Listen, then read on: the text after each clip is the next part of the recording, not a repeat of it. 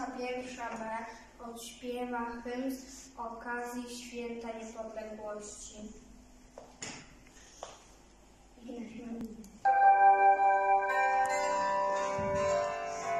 Jeżeli